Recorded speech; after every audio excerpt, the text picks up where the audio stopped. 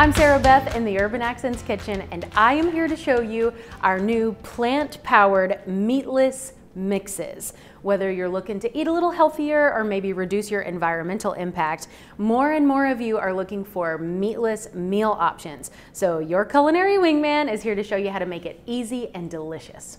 Each of our plant-based mixes is made with protein from soybeans, and one pouch replaces one pound of ground meat in some of your favorite go-to recipes.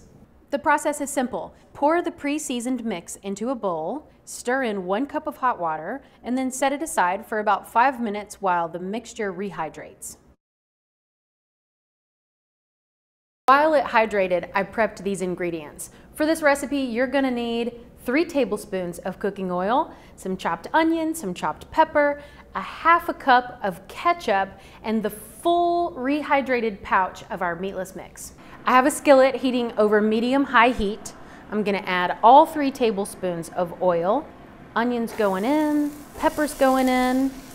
We'll saute these peppers and onions until they're softened and translucent, probably four or five minutes. They're beginning to get a little brown around the edges. That is the perfect time to add our rehydrated mix. I'm gonna give it a stir to combine everything.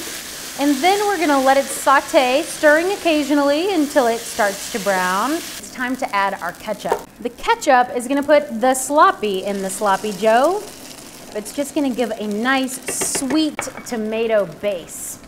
We're gonna saute this, stirring constantly for one or two minutes, just long enough for the ketchup to caramelize. If it's a little thick for your liking, you can add just a little bit of water. The ketchup has turned a nice dark red caramelized color. It's time to build our sloppy joe. We're gonna start with a bun. We like brioche buns because they're beautiful and buttery. Then we're going to layer in some of our sloppy joe filling. One pouch is gonna make about four sloppy joes. Some folks like cheese on their sloppy joe. If you're one of those people, go for it. But we like just a little bit of something green. These are microgreens. You could also use arugula or just plain old lettuce if you like. Let's dig in. Mmm. Mmm.